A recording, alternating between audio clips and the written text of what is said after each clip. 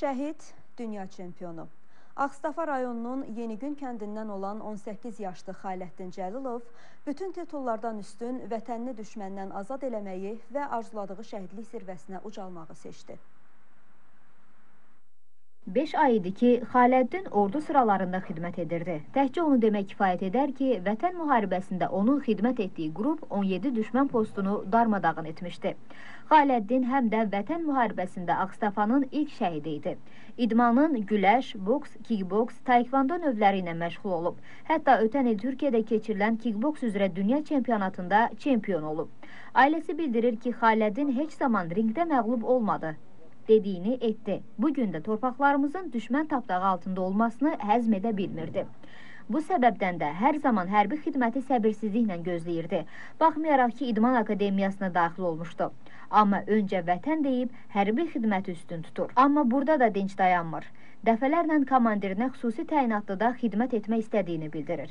Cəsarətli, çevikliyi və bacarığı sayəsində buna nail olur. 4 ayın əskəri idi. Bu da öz-öz ərizəsindən, ərizəsini yazıb komandir yanına gedib ki, belə-belə mən kəşfiyyata getmək istəyirəm. Xaləddin hər zaman qisas üçün alışıb yanan Azərbaycan əskərinin bir parçasına çevrilir. Əməliyyatlarda iştirak edir, düşmən ordusunun hərbçilərini qrupla birgə məhv edir. Ancaq dedi hərbiçi olmaq istəyirəm. Yəni başqa bir fikri yox idi. Getdi İdman Akademiyasına qəbul oldu, oradan belə imtina elədi ki, istəmirəm, mən hərbini daha çox üstün tuturam. Sonuncu döyüşü Murovdağ istiqamətində olur. Əməliyyatdan geri qayıdan qrup düşmənin atdığı minamyot mərmisinə tuş gəlir, yaralanır və şəhid olur. Xaləddinin anası Yeganə Cəlilova da gözünün ağı qarası olan bir oğlu ilə daim fəxr edəcəyini deyir. Doğma vətəni üçün, doğma anası üçün balam getdi, namus qeyrət üçün getdi.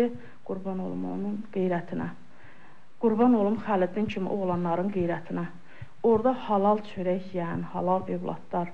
Bunlar hamısı vətənpərvər, vətən eşqindən vurub bunların ürəyi şir kimi oğlanlar olub bunlar elə belə oğlan olmuşlar. Torpaq uğrunda ölən varsa vətəndir. Şəhidlərimiz öz canı qanı bahasına torpaqlarımızı azad etməklə yanaşı, həm də müqəddəs etdilər. Şəhid Xaləddin Cəlilov ölümündən sonra ölkə prezidenti tərəfindən vətən uğrunda və cəsur döyüşçü medalları ilə təltif olunub.